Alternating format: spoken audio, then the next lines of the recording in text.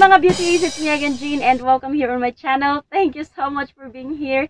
And in today's video, guys, we will do a try-on haul featuring some of these athleisure fashion items from Yes Style. And yes, all these stuffs in here, guys, is sponsored by Yes Style. Isa tayo sa lucky influencer na napili nila, guys, na, you know, gumawa ng uh, review sa mga products na to. And eto na nga yung mga products. Wait, oh my God, ang bigat. So, ay! So far guys, ito yung pinakamalaki at pinakamabigat na natanggap ko na box from Yes Style. Binigyan ako ng Yes Style ng uh, coupon. Actually, consumable coupon siya guys to purchase all these stuffs in here. And ito yung mga napili ko so far sa athleisure campaign nila. I think this is a perfect time to explore pa more when it comes to fashion and beauty. More on beauty tayo sa channel ko. More on makeups, pampaganda, And biglaan tayong nag-jump dito sa fashion try-on. Medyo challenging siya sa part ko, guys. Kasi, personally, I'm, I'm not into fashion talaga, guys. Na-challenge ako na lumabas sa comfort zone na kung saan ako before. Thank you, Yastyle, for doing this. Actually, laking tulong to sa akin sa pag-boost ng self-confidence ko pa. Itong mga napili ko na mga items is nakabase lang talaga sa personal preference ko when it comes to clothing. Sana hindi tayo madismaya sa mga items na to. So if you're into comfortable tiernos, casual wears, and baggy pants, then probably guys, magugustuhan niyo itong video natin this time. So yeah, if you're into this, then keep on watching and let's get started! What we have here for our first item guys is this Windflower short sleeve crop t-shirt sports bra. One size lang to guys ha. So ayan. This one is in a shade gray. Actually maganda siyang tingnan. In fairness yung quality maganda. Makapal yung tela nito and very very stretchy which is a good thing. So ayun, maganda din yung garter. So wala siyang kasamang pad. So if ever man na suotin mo to, ay nako, kailangan mo talagang mag... Alam mo na. So, problemado yung mga flat chested. Anyways, ito try na natin siya and titingnan natin kung gaano ba talaga kaganda yung fit ng uh, sports bra na to. So, guys, ito yung itsura sa harap and ito naman yung sa likuran. Sa fit guys, sakto lang naman siya. Marahil dahil sa makapalang garter at tela nito, kaya parang pinupush nito pa inward lahat. Sa may bust area nga pala, kahit walang pads, okay na okay siya. Again, quality-wise, maganda, comfortable, at slim fit din ito. Kaya siguro halos may kukumpara mo yung quality guys sa isang waist trimmer. Gusto ko siya in fairness para naman sa next items guys, actually dalawa yung binili ko nito. And uh, ito yung Yin Yana wide leg sweatpants in a shade gray and black. Actually, medium size ako guys. Kaso hindi ako sure kung talagang medium is medium ba talaga. Since hindi ako sure, kaya binili ko na lang yung large. At least, di ba? Pwedeng ano, pwedeng ma-adjustan. Alam naman natin when it comes to um, sizing, mas maigi na yung medyo may kaluwagan kaysa hindi naman kasya. So, eto na nga yung pants guys. Actually, super simple lang talaga ng pants na to. Makapal ang tela, maganda din yung quality. Based sa nafe-feel ko ngayon, malamig siya sa katawan, hindi siya yung mainit na type na jogging pants. Alam niyo yun? So, um, wala namang masyadong kaetsusan kasi super simple lang talaga niya. May dalawang pocket siya sa likuran. Sa gilid, may ano, nakalagay na cold medium na rubberized text. Ayan. And also, dito sa may knee part. Yun lang. Tapos, uh, may adjustable siya dito sa ibaba, sa may ankle part para, you know, magpahigpit or magpaluwag. Kung gusto mo ng wide leg, ayan. Tapos kung gusto mo naman ng medyo masikip-sikip sa may ankle mo banda, then uh, just press this area and then ayun, voila. Walang halos pinagkaiba sila ni Gray. Pareho sila ng style. Pareho ng quality din ng fabric, makapal. Maganda yung quality ng tahe. As in, hindi siya yung nakikita ko na mga mumurahin lang na mga fans talaga dyan guys na alam na alam mo talaga na madaling mapunit. So, itry na natin to guys para makita natin kung gaano ba kaganda yung fit nito. Di nga ako nagkamali guys na malamig talaga yung pants sa katawan at napaka-komportable rin itong isuot. Pero kahit di masyadong special looking dahil simple at tsaka common lang din naman yung design niya at kulay, maganda pa rin naman siya guys. Okay? May dalawang bulsa nga pala ito sa harapan at sa likuran. And yung logo design naman nito, mas visible siya sa black compared sa gray. I don't need to think about it. So, para naman dito sa next item natin, guys, ito talaga yung item na masasabi kong super extra na. Actually, pwede mong bilhin to or pwede mo na rin hindi bilhin. Side stripe cropped hoodie in shade black and large. Once again, yung pinili ko kasi hindi ako sure sa medium. So, ito yung hoodie guys na yung kinakover lang niya is yung upper part. Ito yung sleeve part and ito naman yung chest part. I think hindi ako nagkamali sa pagpili ng large guys kasi parang parang perfect fit siya sa akin. So, may nakatatak siya dito na KL Alien. Sales screen siya guys. And um, meron siya nitong pang-lock ng hoodie. Sa fabric, average lang siya guys. Hindi siya masyadong manipis. At hindi din siya masyadong kakapalan. And hindi siya katulad ng mga mumurahin na mga hoodies na pag nilagay mo sa ulo, parang nakaka-stiff neck. Halos hindi ka makagalaw kasi masyadong masikip yung may lieg at saka yung may ulo na part. So, eto girl, malaki yung hoodie niya. I love the style.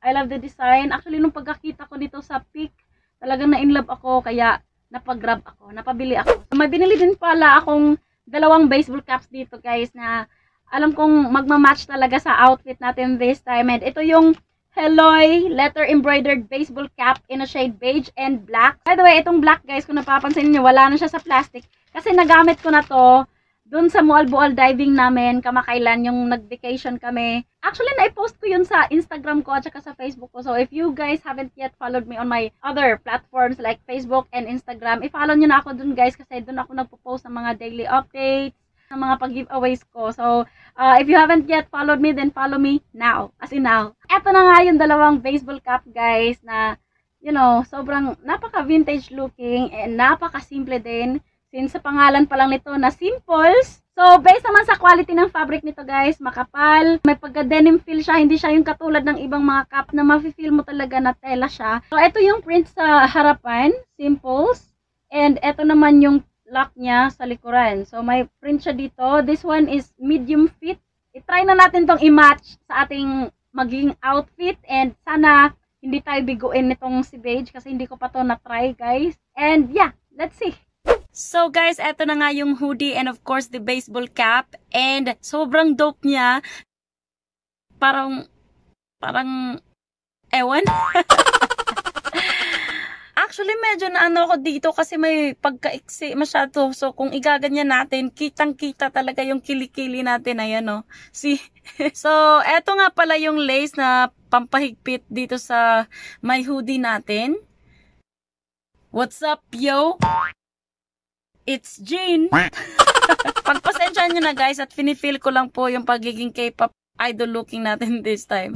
So anyways, yung opinion ko nga pala, sa akin kahit nakakapanibago pero pasado pa rin sa akin to girl. Kasi ang cute and somehow napaka-astig nating tingnan. Kahit maiksi siya, komportable naman siyang isuot. Parang mas nakaka-inspire pa nga lalong mag-exercise pag ganito yung aurahan. So, for me, this is a big yes.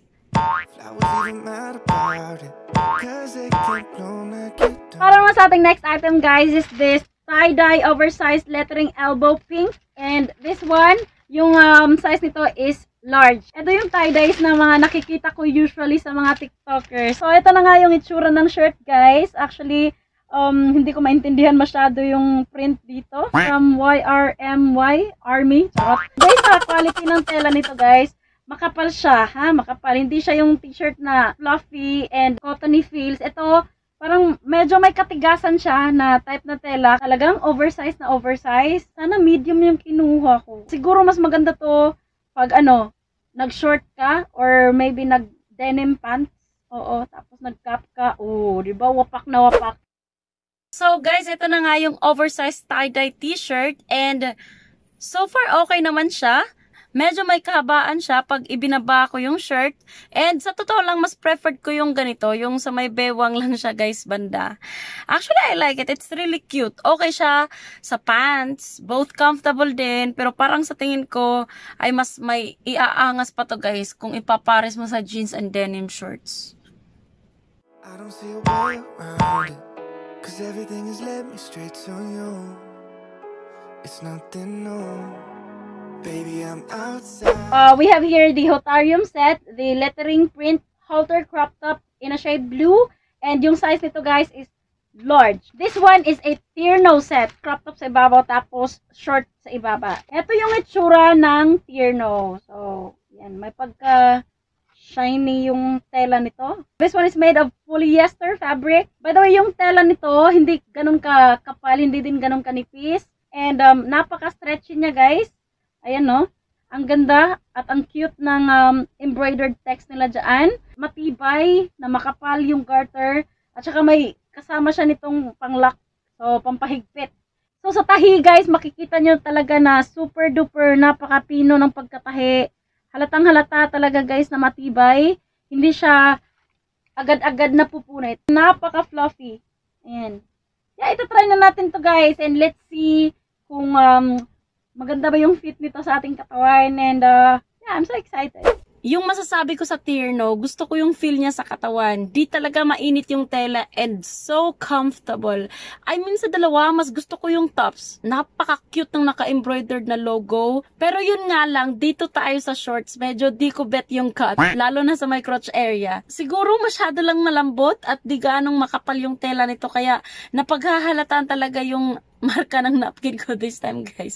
Di talaga ako komportable, promise. So, eto na nga yung likuran ng terno. Huwag nyo na lang pansinin kung may makikita kayong marka dyan, ha.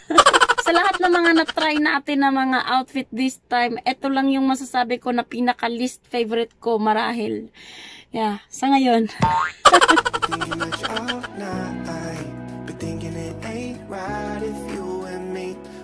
see us in our dreams. I'm outside, but thinking that you're right. But thinking it ain't right you and me only see.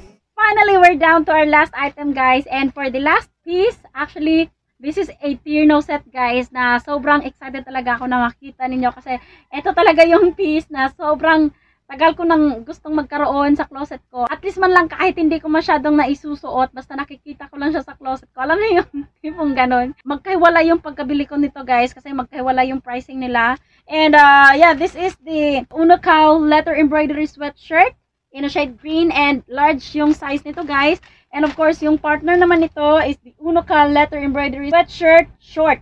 And this one is large once again. Mahilig po talaga ako sa mga hoodies and jackets. Super duper na excited talaga ako guys nung nakita ko ito sa list doon sa at leisure campaign or program ng Yes Style and talagang hindi na ako nagdalawang isip guys na i-check out itong items na to. So, eto na nga yung product guys. Ayan, finally, hawak-hawak ko na silang dalawa.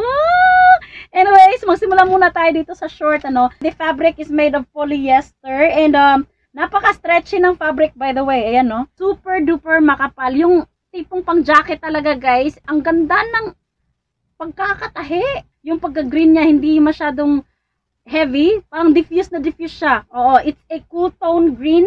Ayan. What I love about this one guys is that medyo talagang malaki or wide talaga yung thigh part nito or leg part nito. So, thankful ako kasi um, medyo may kalakihan kasi yung pata ko. So, ito yung struggle ko before at kahit ngayon na pag pumipili ako ng mga jeans or pag pumipili ako ng mga shorts, kailangan may kalakihan yung waistline kasi nga uh, pag pumili ako ng eksaktong waistline ko, medyo maliit naman dito sa may pata area or sa may thigh area. Mostly sa mga may malalaking waistline, malalaki din yung thigh part. Struggle na struggle ako sa part na yan. Once again, maganda yung kulay, maganda yung quality, and saktong-sakto sa akin to, promise. So, dito naman tayo sa jacket. Sobrang laki ng distansya. Oh my God, ang laki niya, girl. Pero anyway, since jacket naman to, guys, may stopper naman tayo dito, banda, na hindi stretchy. Kasha ba yung kamay ko? Wait, ay! so, ito try ko lang kung kasha ba yung kamay ko dito, guys. Ah, okay. Okay lang. Saktong-sakto siya sa ano sa build ng kamay ko. I'm so excited to try this one guys and um, kung ano nga ba yung magiging final opinion ko sa last set na to then uh, keep on watching and let's try this one. so guys, ito na nga yung final product and uh, so far unlike nung nauna, mas bet ko talaga yung shorts nito guys aside sa makapal yung tela I mean maganda talaga yung cut nito. Kung titingnan ninyo, ayan o, oh, Sobrang ganda. Pati sa likuran guys, hindi rin masyadong obvious yung napkin natin dyan. Bet na bet ko din itong, anong tawag nito? Teka, bakit may tag? Ay, hindi ko pa pala nat hindi ko pa pala natanggal yung tag. Ay, nako naman. Okay. Anyways, mamaya na yan. Magtago ka muna, Brad. Para sa tops, guys. Medyo malaki nga dito banda sa my sleeves. Pero okay naman. Caring-carry naman. O kaya naman nating i-handle. Hindi naman nag slip yung ano, yung jacket. Pag nandito naman na siya sa may wrist mo, talagang naglalak na siya dyan, guys. Ayan, ganyan siya kahaba, yung large. Actually, akala ko nga medium to eh. Ito, parang medium eh. Gusto ko sa isang sweatshirt is yung may bulsa. Parang yan lang yung kulang dito sa sweater na to. But napakaganda or napakalamig niya sa mata tingnan. Kahit sa screen, maganda talaga siya guys. Tingin ako ng tingin sa screen. So pagpasensyahan nyo na ha. Try natin ano, mag-tiktok ng ganito. Charot. Ewan ko kung tama ba yung ginagawa natin guys. Ano? Hala! Ang, magtago ka girl. Huwag kang pahalata na bago ka. Okay? Ay, ay, ay, ang cute. Ang cute. Tumitingin ako ngayon sa salamin dito sa gilid as in, hindi talaga, hindi ka talaga magsisisi guys. Sobrang ganda ng quality ng terno na to. And nakaka-relax. Parang handa na ako matulog sa Paris na to. Sa totoo lang guys, inaantok na ako kasi anong oras na? Kasi rehe, ha, rehe, rehe, rehe, rehe, So, yeah, I guess that's it for today's video, guys. Ito na lahat yung buong kaganapan and please do let me know your thoughts or your opinions sa mga na-try natin na mga athleisure stuffs from Yes Style and um, let me know also kung alin ba sa mga stuffs na to yung bagay talaga sa akin or pareho ba tayo ng thoughts? please don't forget to comment and give this video a thumbs up, guys. Like this video, share this to your friends and families para malaman nila na may YouTube channel tayo. Para po yan sa analytics ko. And if you do, thank you so much and God bless you. Subscribe to my YouTube channel and click the notification bell. Select all nyo po para wala kayong ma-miss out na mga future video uploads pa natin. Follow me on my social media account. Sa Facebook ko po, i-follow nyo ako kasi nagpapag-giveaway po ako dyan two times a month. And of course, sa Instagram ko din po. Yan, follow nyo ako anywhere sa mga social media platforms ko po. And thank you so much once again for watching my beauties. I love you so much. Ayan, tek off. Good morning, y'all. So, once again, thank you so much for watching my beauties. And please, doble ingat tayo ngayon, guys. Kasi may bago na naman tayong kakalabanin na virus. So, please stay safe, everyone. And uh, God bless us all, okay? See you again on my next video. Bye, beauties. Love you. Bye, beauties. Bye, beauties. Bye, beauties. Bye, beauties. Bye, beauties. Bye, bye, bye, beauties. Bye, beauties. Bye, beauties. Bye, bye, bye, beauties.